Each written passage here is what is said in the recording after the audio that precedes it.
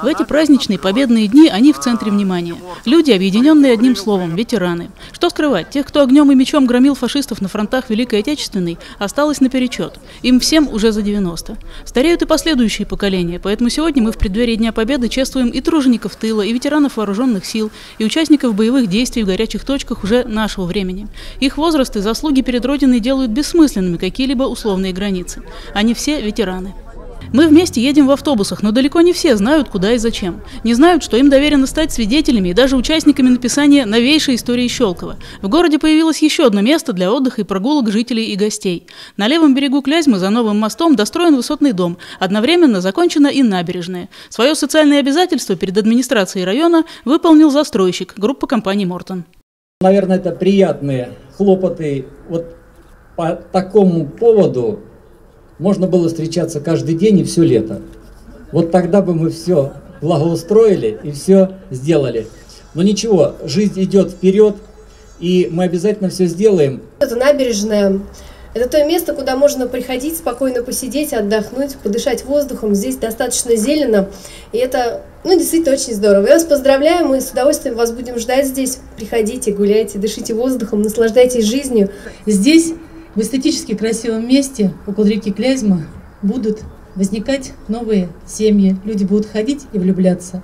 И самое главное, чего я хочу нам всем пожелать, чтобы небо над рекой и над нашей набережной было всегда мирным. Вся земля должна быть красивой. Вы за нее воевали, вы отстояли свободу, независимость нашей Родины. И мы будем делать все возможное, чтобы поколения, которые пришли за вами, жили в красоте. А набережная – это один из элементов этой красоты. Мы в этот день просим у вас согласия. Подарите этой набережной название набережной юности.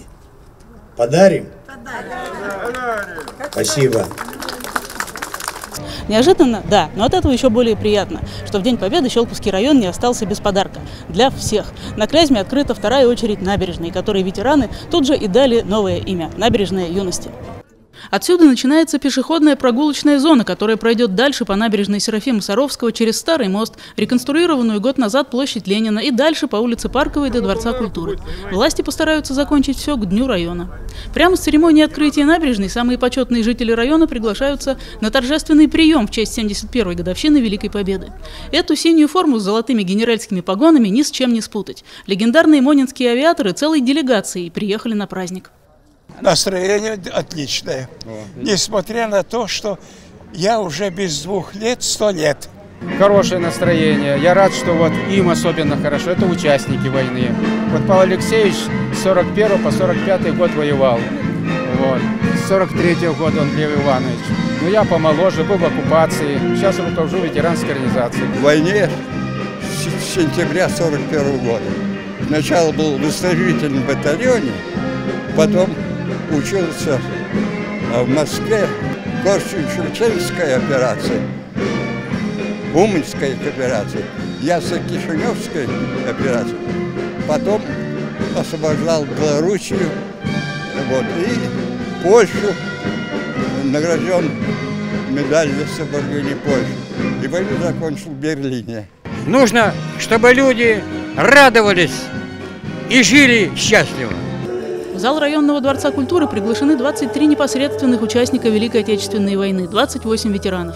Со словами поздравлений к уважаемым людям здесь также обратились Надежда Суровцева и Алексей Валов, Ирина Слуцкая и Владимир Шапкин. Поднимали тосты за победу, за героический подвиг советского народа, за мирное небо, за здоровье ветеранов. Исполнялись любимые всеми поколениями песни военных лет. И как тут усидишь на месте, когда звучит легендарный «Синий платочек». Строчит пулеметчик, синий платочек, Стоит добавить, что для приглашенных ветеранов администрация района подготовила комфортные автомобили, которые по окончании торжественного приема бережно доставили всех домой. Ирина Микеда, Сергей Василевский, телерадиокомпания «Щелково».